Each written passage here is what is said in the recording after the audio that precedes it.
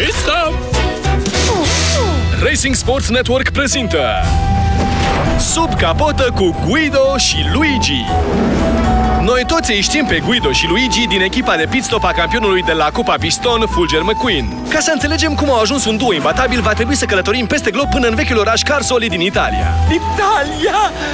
Suntem acasă! Uite il topolino!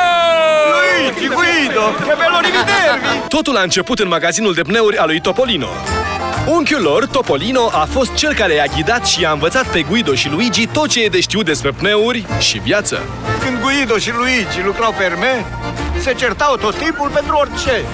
Va bene, toată lumea se mai ceartă uneori, mai ales prietenii buni.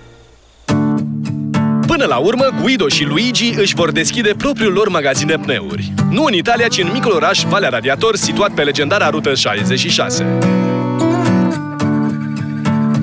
Stilul și flerul lor italian plus un ochi format pentru detalii au fost cheia succesului lor. Cum afacerea cu pneuri a prins avânt, cei doi se simțeau stăpânii lumii. Dar când s-a construit noua autostradă, părea că li s-a terminat norocul. Peste noapte, clienții treceau pe lângă Valea Radiator. Fluxul de trafic, constant pe vremuri, era acum direcționat în altă parte.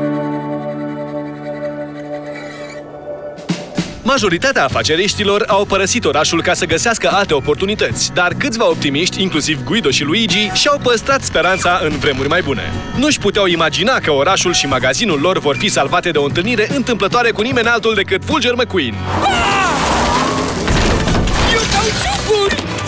El a combinat cele două pasiuni ale lui Guido și Luigi, pneurile și cursele. Tot ce le mai trebuia era o șansă să arate ce pot pe pistă. Guido, să te văd! Cu toți ochii pe ei și presiunea la cote maxime, ei nu ne-au dezamăgit. Guido și Luigi au fost membri cheie a echipei de atunci și l-au ajutat pe Fulger McQueen să câștige 4 cupe piston. Pit stop!